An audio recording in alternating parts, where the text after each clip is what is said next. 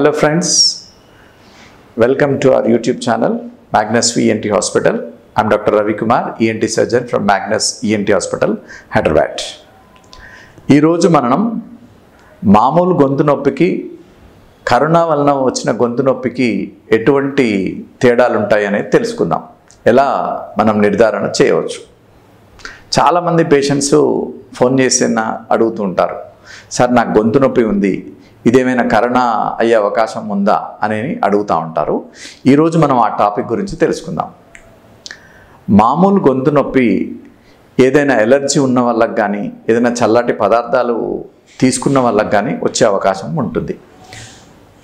అలాగే కరోనా తోటి వచ్చే గొంతు నొప్పి తోటి దానివల్ల మిగతా కరోనా వ్యాధి లక్షణాలు కూడా ఉంటాయి. అవి ఎటువంటి అంటే కరోనా వ్యాధితోటి వచ్చే గొంతు నొప్పితో పాటు విపరీతమైన జ్వరం రావడం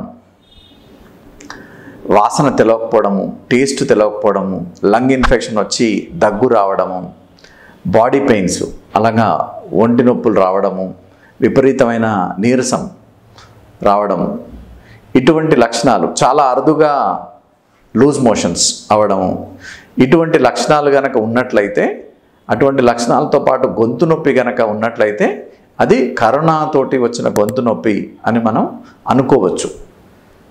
వెంటనే వీలైనంత త్వరగా దగ్గరలో ఉన్న డాక్టర్ గారిని సంప్రదించి కరోనాకు సంబంధించిన టెస్టు చేసుకుంటే మంచిది. అలాగే ఇంకొక ప్రాబ్లం ఏంటంటే దీంట్లో ఇన్ఫ్లుయెంజా లైక్ ఇల్నెస్ అని వైరల్ ఇన్ఫెక్షన్ ఉంటుంది. దానికి కూడా గొంతు నొప్పి వస్తుంది. గొంతు నొప్పితో పాటు కొద్దిగా జ్వరం కూడా ఉంటుంది. కాకపోతే ఈ లాస్ ఆఫ్ టేస్ట్ టేస్ట్ తెలవకపోవడము స్మెల్ తెలవకపోవడం లాంటివి దాంట్లో ఉండవు. ఇంకొకటి ఇన్ఫ్లుయెంజా లైక్ ఇల్నెస్లో ఈ గొంతు నొప్పి జ్వరం అనేది ఒకటి రెండు రోజులు మహా అంటే రెండు మూడు రోజులు ఉండి తగ్గిపోతుంది. అయితే ఈ గొంతు నొప్పి రాగానే మనం కంగారు పడాల్సిన అవసరం లేదు. అసలే ఇప్పుడు సెకండ్ వేవ్ ఆఫ్ కరోనా వస్తుంది అందరూ జాగ్రత్తలు పాటించండి.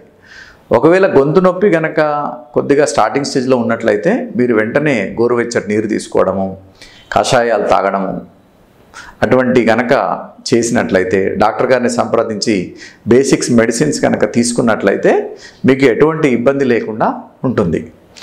ఈ పైన చెప్పిన టాపిక్లో మీకు ఎటువంటి సందేహాలైనా ఉన్నట్లయితే మీరు కామెంట్ బాక్స్లో కామెంట్ చేయండి. వీలైనంత త్వరగా మీ సందేహాలని నివృత్తి చేసే ప్రయత్నం చేస్తాము. Thank you